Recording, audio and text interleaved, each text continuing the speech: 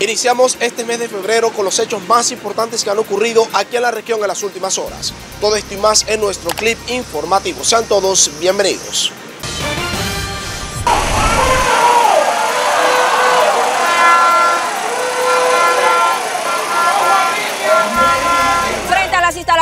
De Afinia, Valledupar protestó por las altas tarifas en el servicio de energía. Ya la gente no tiene tranquilidad. Esto está afectando la tranquilidad, la mentalidad de todos los vallenatos. Así que venimos a apoyar. Ya es hora de que Afinia revise qué es lo que están haciendo sus operarios, porque la verdad no están ni siquiera tomando las medidas. Yo vivo solamente con mi hijo.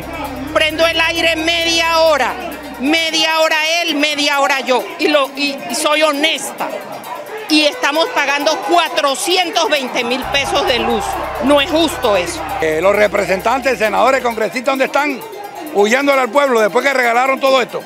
Ellos son los responsables. Pues Cuello es el dueño de Endupar y es el dueño de todo. De la cancha del 12, de todo el eh, Apecuello. ¿Dónde está? Pues necesitamos que se haga presente la gobernadora, la muñequita de Cielo Géneco, que participe aquí también en esto. En Cartagena se dio un foro sobre alcalde, gobernador y ellos no fueron. Precisamente estoy protestando hoy porque el recibo de la casa nos ha llegado un aumento del 400% y eso es algo injusto y son recibos impagables. Y como ya lo han dicho muchos oyentes, hay que dejar de comer para pagar estas sinvergüenzuras. Necesito que venga la ministra de Energía, gobernador, que se haga presente porque realmente estamos ya oficiados con estos recibos tan caros. Empresa centralista paisa de los cachacos, que son los que la creen, porque hay que, esto, esto es la cree la que nos aumenta todos los cada vez que le da la gana. En un centro médico de Valledupar falleció Andrés Eduardo Suárez Orozco, más conocido como Bebo, quien fue una de las personas heridas el pasado 20 de enero en el barrio San Carlos en el Copey Cesar. Es de recordar que en el lugar de los hechos tres personas más fueron asesinadas. Se trata de Miguel Naisir Morales, conocido como Bojote, y Martín Enrique Lara Tobar, alias Santiago, y Edward Suárez Benítez, alias Steven. De acuerdo a las autoridades, el crimen se debería a una disputa interna entre presuntos miembros de las autodefensas gaitanistas de Colombia. Andrés Eduardo Suárez, alias Bebe, era sicario del Frente Francisco José Morelo Peñate de las AGC. La gobernación del departamento del Cesar ofrece una recompensa de hasta 40 millones de pesos a quien aporte información de actores delincuenciales e integrantes de esta estructura criminal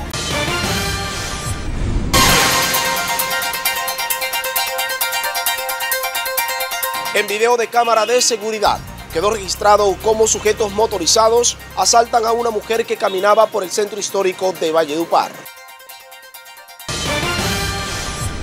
Con el fin de ahorrar un alto porcentaje en consumo de electricidad, la Caja de Compensación Familiar del Cesar con Facesar instaló más de 230 módulos solares en algunas de sus sedes de Valledupar. Desde el Colegio Confacesar Rodolfo Campos Soto contamos con un sistema de 130 módulos solares.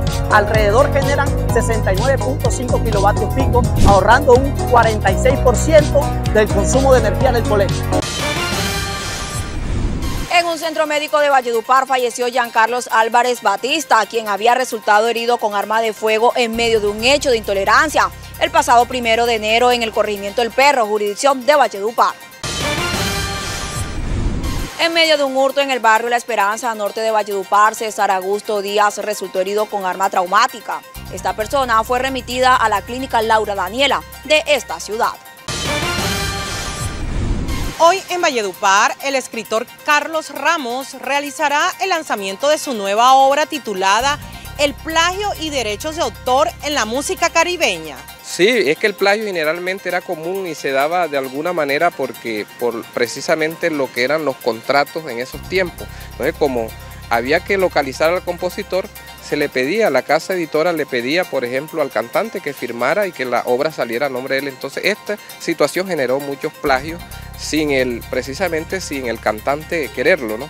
Se dio de manera natural el plagio y después se siguió dando ya de manera consciente. El evento se estará realizando en la Universidad Ariandina, hoy primero a las 5 y media en el auditorio Pablo Oliveros Marmolejo. El equipo de Valledupar, Alianza Fútbol Club, logró un valioso empate ante Millonario en el estadio Nemesio Camacho El Campín de Bogotá y se trajo un punto a casa. El club ahora se enfrentará ante Junior de Barranquilla el próximo domingo 4 de febrero en el estadio Armando Maestre Pavalló. Yo creo que es un punto ante un excelente rival que de hecho 11 contra 11 es mucha la dificultad que se tiene para, para competirlo y con 10 mucho más. Entonces es un tema a revisar el de las expulsiones porque ya son seguidas. Tenemos que hablar con los muchachos, mirar la intensidad y la, manera como estamos compitiendo en esas jugadas puntuales y, tener más autocontrol. Pero resalto, resalto mucho el compromiso, la responsabilidad, el punto que sacan, eh, superar las adversidades, yo creo que es, valioso.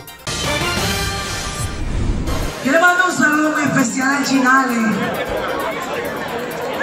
mi Camilo Hinojosa Daza, que venga a responder por su hija y venga a llevarle los botes de leche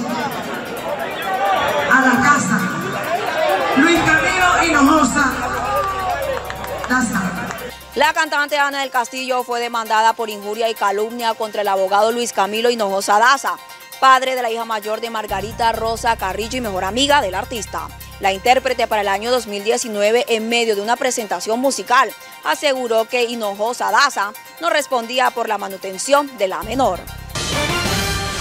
Y que no me digan en la esquina el venado. Ante los medios de comunicación de la capital del Cesar, el cantante Mono Zabaleta presentó su nuevo álbum musical titulado Mono y habló de la programación especial que tiene para el lanzamiento en vivo. Un álbum muy fresco, un álbum muy mono, así como se titula el nombre, eh, mono, y contento con, todo lo, que hemos hecho con, la promoción de lanzamiento, que será el 3, con el favor de Dios, será un éxito total. Y al lado de Dani hicimos un CD para toda la juventud. Bueno, diferente, yo venía grabando canciones a Chiche, a Urrola, esta vez no las metí, metí como canciones más un poquito más juveniles pero metí canciones sabrosas en mi estilo como la Melqui Suárez, que es una canción que se llama Dilo sin llorar, que es una canción como cuando yo grabé El Fajón, El Feo, a mi estilo.